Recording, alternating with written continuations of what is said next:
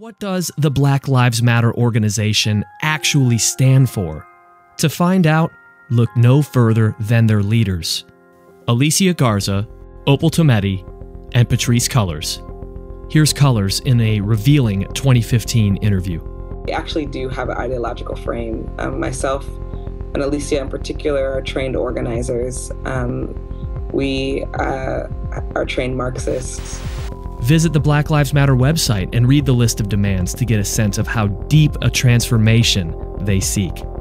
One of those demands proclaims, quote, we disrupt the Western prescribed nuclear family structure requirement by supporting each other as extended families and villages that collectively care for one another.